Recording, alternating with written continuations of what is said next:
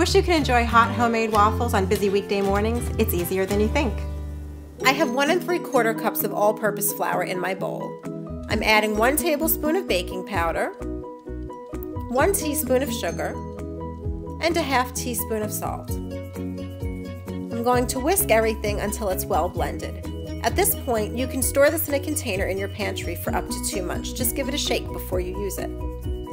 When you're ready to make your waffles, combine one and three quarter cups of milk, you can use whole or 2%, with two large eggs and four tablespoons of melted butter.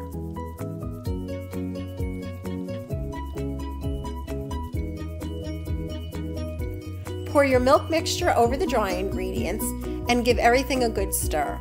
I like to use a fork so that I can scrape any bits of flour off the bottom. And don't worry if your batter is a little lumpy. That's exactly how it should look. At this point, I divide the batter to keep some plain and to stir some fruit or nuts into the other half. Today, I'm using some frozen blueberries. Ladle the batter into a preheated waffle iron.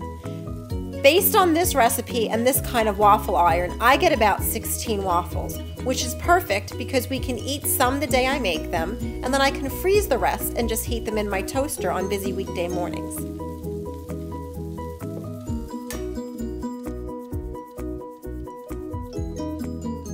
And there you have it, crispy golden homemade waffles. Easier than you think. For this recipe and more, visit us at workingmother.com.